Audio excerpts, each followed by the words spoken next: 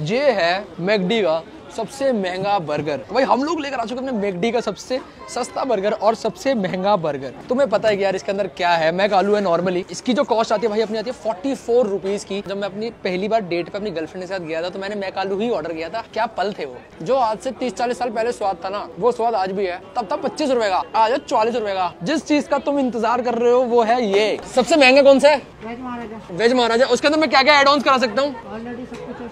और भी add on कराने हैं मेरे को थोड़ा और महँगा बनाना है। एक चीज़ स्लाइस ऐड कर दो। दो चीज़ स्लाइस ऐड कर दो। एक्स्ट्रा म्योनीस भी कर दो। और क्या हो सकता है ऐड जिसके आप चार्ज लोगे मुझसे। बस।